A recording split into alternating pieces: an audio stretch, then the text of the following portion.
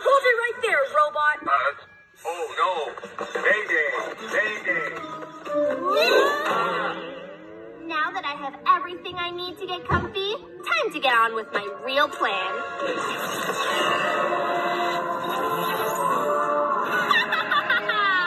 Let's fire up this thing for a test drive.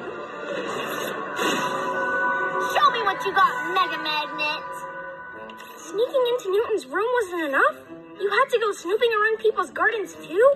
Robot was only picking pretty flowers in the park to give to Robette. Today is her birthday. Guys, let him go. He shouldn't have taken these, but But there's no reason flowers would make my emblem go haywire. Clearly, Robot has nothing to do with this.